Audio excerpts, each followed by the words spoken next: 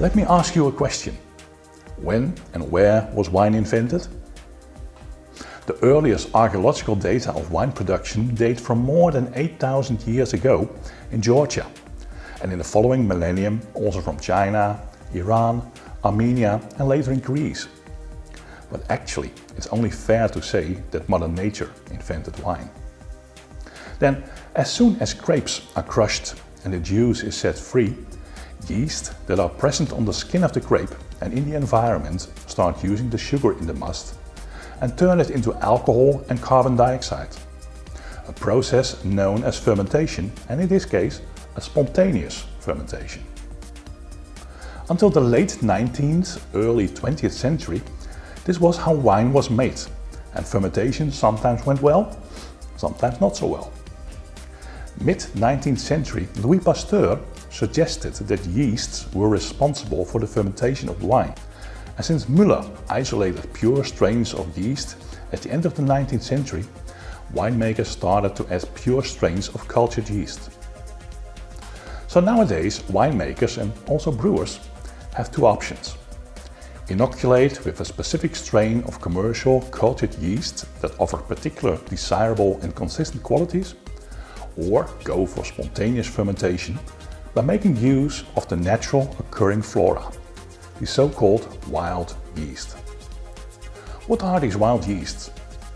Wild yeast, also called native, indigenous or natural yeast, enter the cellar on the surface of the grapes, but they also already cling to the walls of cellar and vineyard equipment.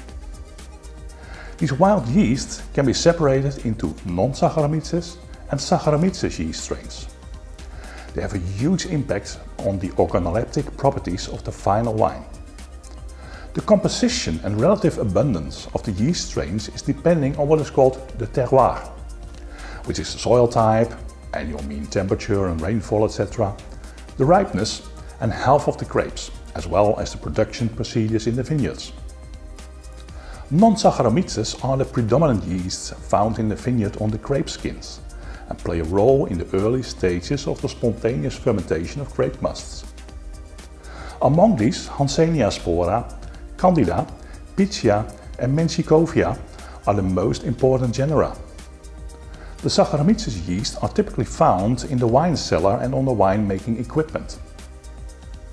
As fermentation progresses, the population of non-Saccharomyces species decreases and the wine yeast Saccharomyces cerevisiae completes the fermentation process.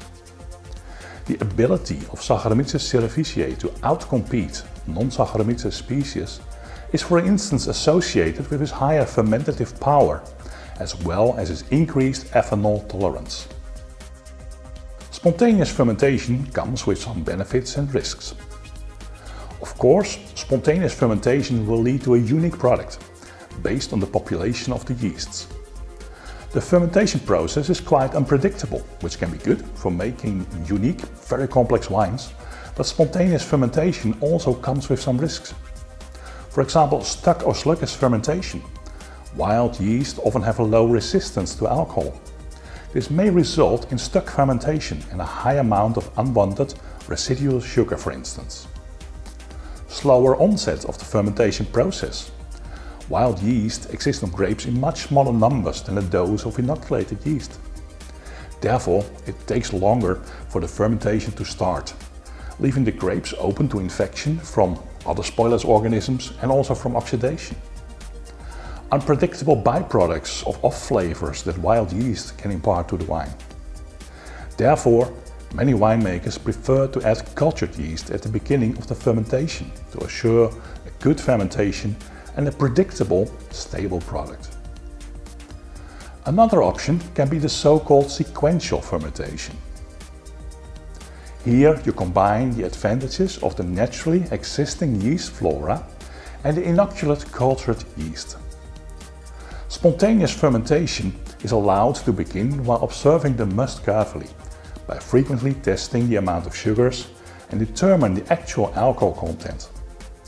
When the alcohol has reached the desired level, a commercially available Saccharomyces cerevisiae is inoculated to ensure complete fermentation. In this way, you might get the best of both worlds. Another option can be to determine the types of yeast present on your grapes or in the must. We have several analytical methods available to test the most important parameters during winemaking, like sugars, alcohol and other components, as well as sophisticated tests for detecting different yeast species. Have a look at the wine analysis pages on our website for more details.